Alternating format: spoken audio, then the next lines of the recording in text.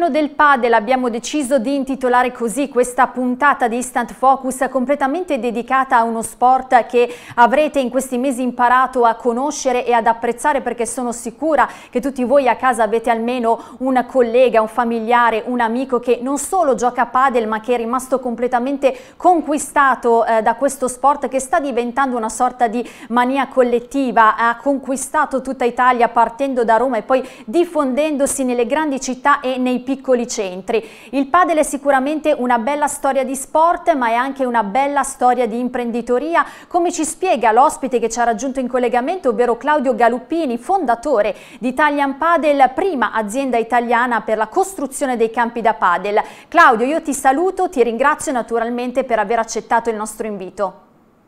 Buongiorno a voi, ai telespettatori, grazie a voi per l'invito. Ecco eh, Claudio, diciamo subito che in realtà il padel è capitato nella sua vita, nella sua carriera professionale un po' per caso perché in realtà la sua azienda, la Forgiafer, come racconta del resto anche nella sua biografia Forgiato dalla vita, si occupava della costruzione di cancelli, di recinzioni, poi nel 2008 c'è stata la crisi del settore ed è stato un po' costretto anche ad una nuova eh, riconversione, ma le chiedo ecco quando ha capito che il padel poteva diventare un vero e proprio fenomeno e anche un business. Beh, l'ho capito ottobre 2015 quando mi è stato presentato da un amico comune e dal mio commercialista, anche suo amico, e mh, invitato poi a provarlo a Roma, preso, mi sono portato la famiglia anche per visitare Roma e abbiamo giocato con i figli che avevano al tempo età diverse, eh, per cui ehm, Diana aveva eh, 28 anni e Michael ne aveva 19, ci siamo divertiti eh, tutti giocando e da lì ho capito che se riuscivo a far divertire una famiglia con figli di età diverse che non avevano mai praticato lo sport avrebbe potuto in futuro diventare uno sport adatto a tutti e da lì l'intuizione di trasformare così poi anche l'azienda. Eh certo, insomma c'è stata questa componente un po' di destino, un po' casuale che poi come ha giustamente sottolineato lei ha colto eh, per poi trasformarla appunto in un vero e proprio business. Oggi diciamo che la dimensione proprio del fenomeno del padel è data proprio eh, dal numero dei campi che secondo gli ultimi numeri aggiornati sono circa 4.500 eh, in tutta Italia, molti dei quali naturalmente targati eh, Italian Padel. Ecco, eh, le chiedo, visto che eh, voi, la vostra azienda si occupava letteralmente di altro. Da chi avete imparato, insomma, da chi avete studiato eh, per la costruzione dei primi modelli eh, di campi da padel? Ma in realtà visitando i campi appunto a Roma che erano di provenienza spagnola abbiamo capito che erano molto migliorabili da un punto di vista ingegneristico e produttivo. Eh, l'azienda era già abbastanza automatizzata nella produzione di cancelli e abbiamo dato il via così a quella che era la terza riconversione aziendale in 15 anni, perché la prima era passata da fabbro generico a produttori di ferro battuto, da produttori di ferro battuto a produttori di cancelli e recinzioni standardizzate, per poi passare eh, come ultima riconversione al padel. Devo rettificare il numero dei campi che hanno già superato le 6.200 unità, e diciamo che grosso modo quelli realizzati da Italian Paddle in Italia sono circa 1700. Italian Paddle in 5 anni ha realizzato oltre 2500 campi, i restanti 800 sono distribuiti su altri 19 paesi del mondo. Eh sì, eh, ha fatto bene a correggermi perché appunto sono numeri in realtà in costante aggiornamento. Noi eh, lo vediamo anche qui a Milano praticamente in ogni angolo eh, della città spunta un campo eh, da padel nuovo, una struttura nuova e quindi ecco questo ci, dà, ci, ci spiega la, la, dimensione proprio di questo eh, fenomeno che come abbiamo detto non è solo un fenomeno sportivo ma proprio è un fenomeno imprenditoriale e di business. Un fenomeno a cui hanno contribuito anche i VIP, soprattutto soprattutto gli ex eh, calciatori, ricordiamo eh, naturalmente ecco, Francesco Totti, la sua grande passione eh, per questo sport, Daniele De Rossi, ma eh, non solo, altri VIP ex calciatori che hanno creato delle vere e proprie strutture come Albertini e Casiraghi ehm, per quanto riguarda Milano, appunto la loro Padel Arena e così abbiamo l'esempio anche di Zlatan Ibrahimovic per quanto riguarda la Svezia. Ecco, io le chiedo secondo lei quanto è stato importante questo contributo dei VIP degli ex calciatori nella diffusione eh, del padel in tutta la penisola e poi se ci vuole raccontare un aneddoto, ovvero se le è capitato di giocare con qualcuno di loro. Beh, allora eh, partiamo dalla prima riflessione dove gli ex giocatori di calcio hanno dato grande visibilità a questo sport, eh, partendo mh, da Roma prima con Totti, ma poi anche Demetrio Albertini e Gigi Casiraghi hanno dato una grande svolta con i primi passaggi televisivi su Mediaset, dove hanno portato il padel a essere conosciuto un po' dalla popolazione che ancora non ne aveva sentito parlare, tant'è che io nel 2015-2016, quando iniziavo a parlare di padel in provincia di Brescia, ancora era una cosa che eh, sembrava una rarità, in pochissimi conoscevano. E poi sì, ho avuto occasione di giocare con alcuni di loro, fare fotografie con ex giocatori di calcio, di partecipare a tornei. Non ultimo abbiamo appena smontato e abbiamo finito oggi proprio il Gran Premio a Monza con due campi itineranti dove ci hanno giocato le, le, le leggende del calcio da Candelà, Materassi, eh, Di Biagio, Albertini, Costa Curta, eh, Serginio eh, e, e, altri. E per cui insomma questo è un po' quello che avvicina tutti gli ex giocatori perché è uno sport che può essere praticato anche dopo alcuni infortuni che o a un'età che non permette grande accessibilità e grande divertimento ad altri sport. Il padre invece permette ancora loro di usare il loro agonismo che mettono sempre con grande tenacia e grande divertimento perché eh, rifanno le stesse sfide fuori dal campo di calcio, diciamo. È vero, è verissimo, proprio l'accoppiata che lei ha nominato, grande divertimento da un lato ma anche grande competitività eh, dall'altro, sappiamo insomma di sfide eh, proprio all'ultimo sangue tra eh, non solo ecco, i VIP che giocano a padel ma anche tra la gente eh, comune. E eh, inaspettatamente ecco, c'è stato un altro alleato oltre appunto agli ex calciatori nella diffusione eh, di questo sport in Italia ovvero la pandemia perché lo sappiamo soprattutto nei due anni che abbiamo trascorso scorso i ragazzi non potevano più praticare eh, gli sport di contatto, quindi il calcetto, il basket e hanno provato appunto questo nuovo sport, il padel proveniente dalla Spagna, dall'Argentina, l'hanno provato e non l'hanno più abbandonato. Ecco, secondo lei qual è la magia del padel? Perché una volta che appunto eh, eh, si prova il padel non lo si abbandona più?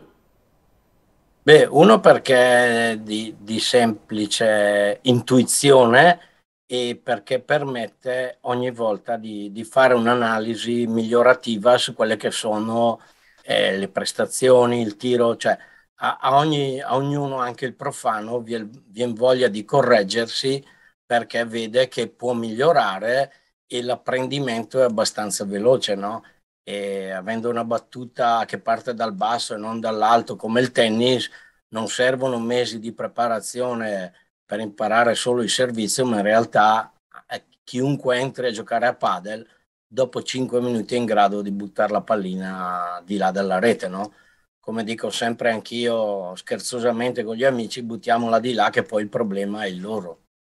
Eh sì, è certo, ecco, anche la semplicità quindi dal punto di vista proprio tecnico e questa è la differenza come ha sottolineato rispetto al tennis dove bisogna avere una base invece tra il servizio, eh, il rovescio, la volée molto molto più complessa, invece a padel insomma bene o male la palla va di là e poi se torna eh, insomma è un problema poi eh, dell'avversario. Ecco, ma ritorniamo proprio al discorso imprenditoriale perché abbiamo detto il padel in realtà realtà si è sviluppato in Spagna e in Argentina, eh, però ecco, progressivamente ha conquistato il resto eh, d'Europa, il resto del mondo. Eh, in Italia sicuramente ecco, voi avete la vostra base eh, consolidata, ma rispetto al mercato europeo, verso eh, quali paesi vi state rivolgendo? Perché ci sono un po' delle praterie insomma, da sfruttare dal punto di vista del business o mi sbaglio? Assolutamente no, non si sbaglia. Noi adesso stiamo iniziando rapporti con gli Stati Uniti, con l'Australia, Giappone, eh, Canada, eh, Marocco. Stiamo aprendo in varie nazioni perché il padel, come appunto dicerai prima, piace dappertutto, è universale, avvicina le persone, abbatte le barriere, è molto social. È, per cui praticabile anche da diversi tipi di disabilità, tant'è che anche noi eh, abbiamo un progetto proprio eh, per verificare quali sono i benefici psicofisici eh, di alcune disabilità. Siamo all'interno del progetto Cibo Sano per ogni bambino della Col Diretti con eh, il Ministero dell'Istruzione che ripartirà a novembre sulle, sulla provincia di Brescia dove i bambini di quarta e quinta elementare vengono accompagnati, oltre a fare i corsi per una sana alimentazione, eh, vengono a provare il padel a divertirsi e, e a capire eh, questo sport che avvicina appunto perché bene o male si gioca in coppia e c'è modo di confrontarsi, adatto appunto a tutti in entrambi i sessi dagli 8 agli 80 anni. Eh sì, insomma uno sport che fa bene al morale, che fa bene anche alla salute dei più giovani e anche appunto di una popolazione che è un po' più in là eh, con l'età perché è uno sport molto democratico, non ci sono delle barriere insomma eh, di accesso. Ma ecco, eh, torniamo appunto ancora agli affari perché gli affari per Italian Padel in questo momento stanno andando molto bene. Io ho letto dal vostro sito che addirittura ricevete un preventivo praticamente ogni 15 minuti. Io quindi le chiedo, ecco, soprattutto soprattutto in prospettiva futura. Lei è tranquillo dal punto di vista imprenditoriale o teme un po' ecco, che accada al padel quello che è successo allo squash, cioè che sia un fenomeno eh, temporaneo e che poi insomma con il passare del tempo questa moda tra virgolette eh, diminuisca e quindi anche gli affari diminuiscano? No, allora, non è una moda il padel, è uno sport in grande crescita che fa diminuire un po' le richieste sono a livello nazionale la lentezza burocratica, okay? la mancanza di normative specifiche, di reg- regolamentazione nazionale, per cui c'è ancora ehm, molta, molta, ignoranza da, dal punto di vista proprio di come vanno eh, realizzati e con quali normative e con quali permessi gli impianti da padel. Eh, si sta lavorando anche per questo eh, perché diversamente ci troviamo ad avere sul suolo nazionale dei prodotti non conformi rispetto alle normative italiane ma che però poi tolgono lavoro alle aziende serie che invece normative italiane producendo in Italia le devono per forza rispettare. Eh, questo è un po' quello che negli ultimi tempi ha fatto diminuire la richiesta e ha allungato di molto i tempi per l'uscita del prodotto perché gli stessi gestori, imprenditori che stanno aprendo centri eh, si trovano a dover fare i conti con una burocrazia che a volte che va dai 6 ai 36 mesi, per cui in 36 mesi un business eh, eh, riesce anche, non dico a passare di moda, ma a cambiare nel suo modo di impostazione in quello che sono i valori degli investimenti, ma anche in quello che sono i ritorni poi degli investimenti stessi. Eh certo, la burocrazia è uno dei mali eh, di questo paese, lo, lo, diciamo non solo naturalmente per quanto riguarda la sua attività, ma per molte attività eh, imprenditoriali e poi giustamente la concorrenza eh, sleale, chi non rispetta a pieno le regole, soprattutto le regole eh, della sicurezza. Ecco, dottor Galuppini, io le faccio un'ultima domanda eh, proprio che riguarda la sua conversione e riconversione dell'attività. Che rapporto ha ormai con il cambiamento? Ecco, quando le cose eh, non si mettono bene, insomma, qual è ormai la sua reazione? Si è completamente abituato a vivere eh, questa situazione di, di, incertezza, di necessità anche di cambio, di cambiamento eh, dell'attività oppure eh, ormai ha costruito una sua solidità? No, guardi, eh, purtroppo le, le, tre riconversioni e il grafico di Forgefer è un grafico con grandi cali e grandi crescite, è molto anomalo nella normalità eh, di un'attività. Tant'è che comunque in questo periodo devo dire che negli ultimi tre mesi sono molto diminuite le richieste del cliente che noi educhiamo a fare le cose in maniera giusta, per cui la concorrenza sleale in questo periodo eh, sembra vincere. Noi cosa facciamo? Guardiamo avanti, facciamo ulteriori investimenti anche in un rallentamento delle richieste, ma perché bisogna guardare avanti, cioè diventando del tutto autonomi arriveremo ad avere un megawatt e tre di impianto fotovoltaico per divenire totalmente autonomi. Abbiamo appena acquistato un impianto di verniciatura di ultima generazione con la possibilità di tre eh, tipologie di riscaldo, metano, GPL o totalmente elettrico. Continuiamo con le automazioni, continuiamo con eh, apportare innovazione e soluzioni al mercato con palazzetti prefabbricati, con platee prefabbricate. L'unico modo, secondo me, è guardare già oltre la crisi, che comunque è iniziata, è una crisi trasversale, stavolta non è settoriale, prende prende chiunque, visto gli aumenti dei costi di, di gas e di energia, ed è una crisi che non lascerà indenne nessuno purtroppo. E chiaramente bisogna guardare avanti, bisogna trovare sempre innovazioni, soluzioni e anche lì siamo tornati proprio eh, ieri dalla fiera in Svezia dove abbiamo capito che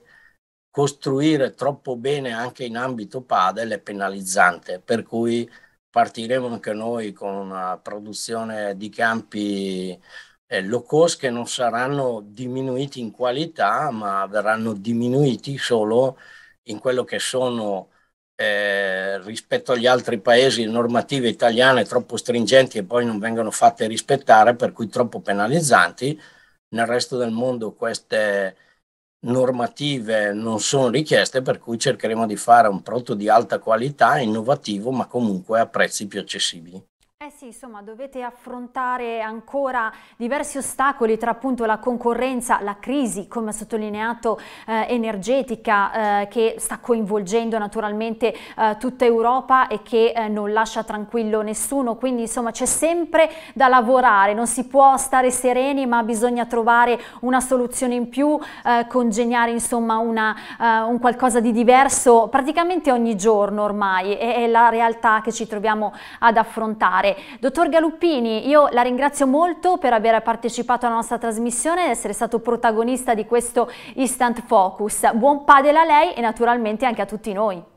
Grazie a voi e buon padel a tutti. Grazie. Buona giornata. Grazie. Ringraziamo ancora il dottor Claudio Galuppini, fondatore di Italian Padel. Si chiude qui dunque questa puntata di Instant Focus. Mi raccomando, restate sempre sulle fonti TV perché la programmazione continua.